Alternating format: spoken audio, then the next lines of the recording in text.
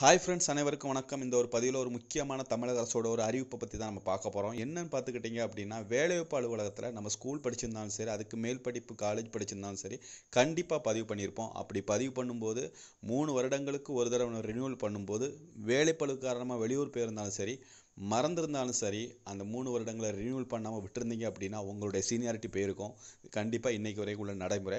So அப்படி வந்து seniority இழந்தவங்க கண்டிப்பாக பதிவு பண்ண மறந்தவங்க இப்போ திரும்ப ஒரு கவர்மெண்ட் அதாவது தமிழக கவர்மெண்ட் ஒரு ஆஃபர் கொடுத்துருக்காங்க. என்னன்னு பார்த்துக்கிட்டிங்க அப்படின்னா ரெண்டாயிரத்தி பதினேழு ரெண்டாயிரத்தி பதினெட்டு ரெண்டாயிரத்தி பத்தொம்போது. இந்த மூணு ஆண்டுகளில் அந்த பதிவினை புதுப்பிக்க தவறியவங்க ரினியூவல் பண்ண தவறியவங்க பதிவு பண்ணாதவங்களுக்கு கிடையாது புதுப்பிக்க தவறியவங்களுக்கு ஒரு வாய்ப்பு கொடுக்குறாங்க. இந்த வாய்ப்புப்படி தமிழக அரசு என்ன சொல்கிறாங்க அப்படின்னு பார்த்துக்கிட்டிங்கன்னா ஒரு அரசாணையை வெளியிட்டு அவங்க சொன்னது என்ன விஷயம் பார்த்துக்கிட்டிங்கன்னா மூணு மாதங்கள் இனி வரக்கூடிய இந்த மூணு மாதங்களில் ஆன்லைன் மூலமாக அந்த பதிவினை நீங்கள் புதுப்பிக்க முயற்சி பண்ணலாம் அப்படின்னு சொல்லியிருக்காங்க.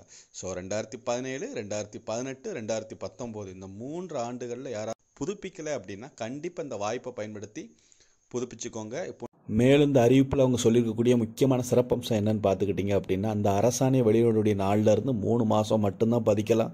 அதுக்கு பிறகு இதுக்கு வந்து வாய்ப்பு கிடையாது அப்படின்னு சொல்லியிருக்காங்க. ஆன்லைன் மூலமாக மட்டும் இந்த சலுகை ஒரு முறை மட்டும்தான் வழங்கப்படும். மேலும் இந்த மூணு மாதங்களுக்கு பின்னாடி வரக்கூடிய இந்த கோரிக்கைகள் நிராகரிக்கப்படும். ஒன்று ஒன்று ரெண்டாயிரத்தி பதினேழுக்கு முன்னும் புதுப்பிக்க தவறியவங்க கோரிக்கை வந்து எந்த காலத்திலையும் ஏற்றுக்கொள்ளப்பட மாட்டாது. அப்படிங்கிற தெளிவான ஒரு அறிக்கையை கொடுத்துருக்காங்க. ஸோ கண்டிப்பாக பயன்படுத்திக்கோங்க.